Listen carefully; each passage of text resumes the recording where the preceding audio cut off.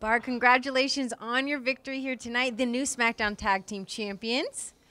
Now, Big Show, we have to ask, what did we see out there? You saw Kofi Kingston get chokeslammed through a table.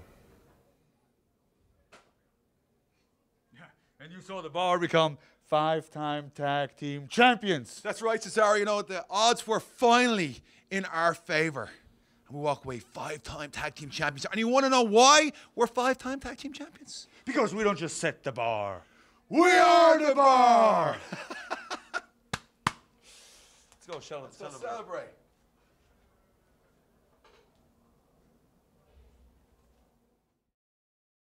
Come on and